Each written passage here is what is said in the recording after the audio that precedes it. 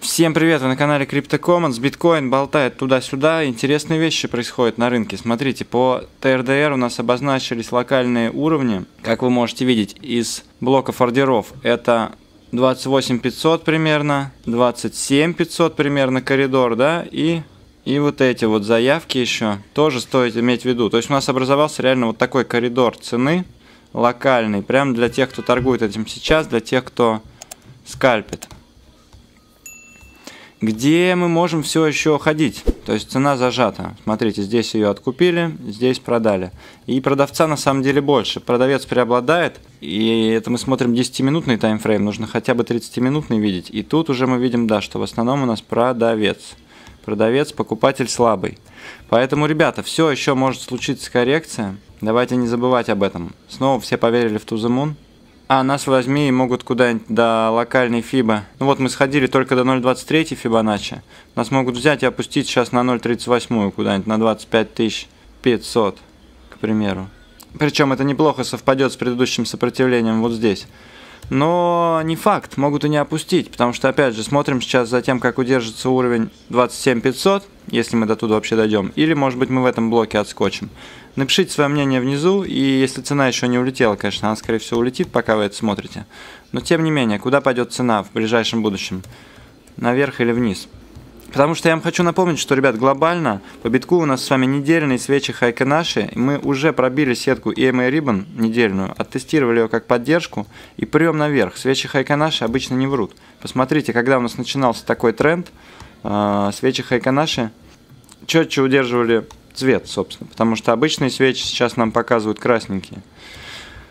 На мой взгляд, ложные свечи. И посмотрите также на сайфер, друзья. Посмотрите на сайфер – который выходит из красной зоны по money flow. Как это было вот здесь.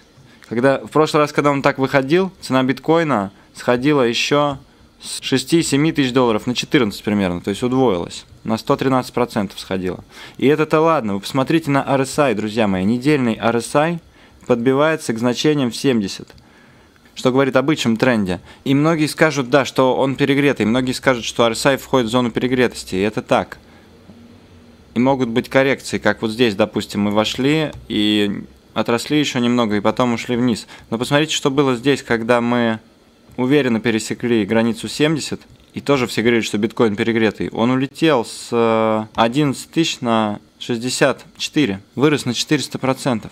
Так что это то, зачем стоит сейчас наблюдать, ребята, и RSI, и Cypher, и свечи Хайканаши, потому что они действительно показывают нам тренд. Поэтому все эти локальные коррекции, я думаю, они будут очень быстро выкуплены, и боты запустят череду шорт-сквизов, которая просто вытолкает цену так высоко, что... Ну, слушайте, средние значения, я вам показываю снова, средние значения – это еще памп на 80% грубо говоря. Ну, пускай там даже берется в расчет вся капитализация, здесь биток может поменьше запампиться, ну, даже на 50, если он запампится, вот, это будет 42 тысячи долларов. Это то, как обычно это происходит, потому что в конце мы видим вот такие зеленые свечи, их еще не было.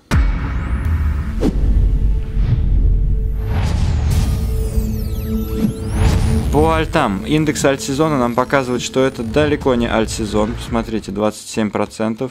То есть это бит-сезон. Но с другой же стороны, это то как раз место, где мы хотим покупать. Потому что, когда у нас бит-сезон, мы постепенно накапливаем с вами свою альткоин-позицию, и потом выстреливает альт-сезон, мы снова разгружаемся в BTC. Правильно? Ну, кто в кэш, кто там в USDT, кто в BTC.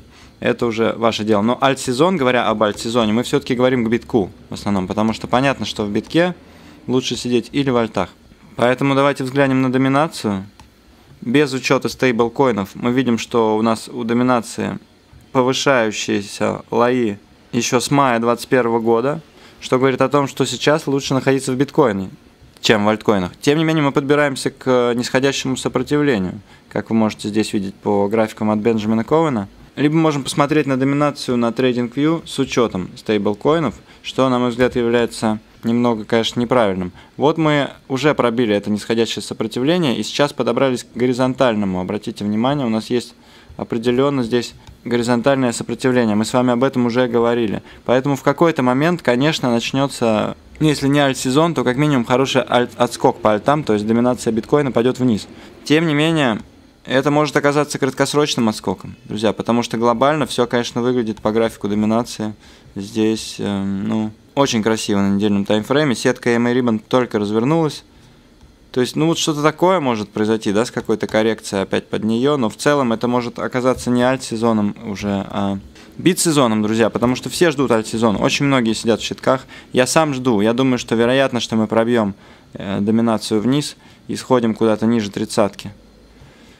Но пока то, что мы видим, мы видим обратное. И рынок это не то, где нужно тупо ждать, тупо слепо следовать своим ожиданиям. Это то, где нужно перестраиваться. Поэтому сейчас, да, лучше находиться в битке. Тем не менее, я нахожусь сейчас и в эфире, и в других альтах, так же, как и в биткоине. И лонгую, все еще лонгую, потому что думаю, что мы сейчас пойдем наверх локально. Несмотря на то, что мы обсудили про возможность коррекции, я думаю, что сильно ее не будет. Сейчас все выйдут, наберут шартов, и мы стрельнем.